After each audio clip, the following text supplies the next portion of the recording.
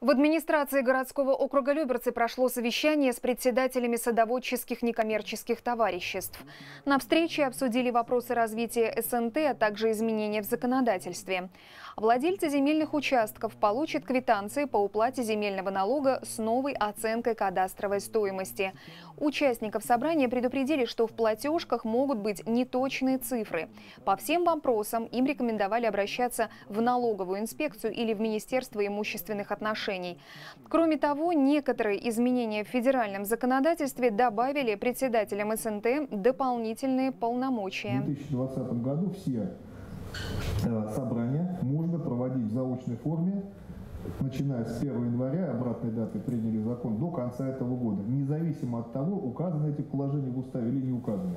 Заочное голосование дает возможность опросить практически всех, набрать нужный кворум и, самое главное, правильно посчитать результаты голосования.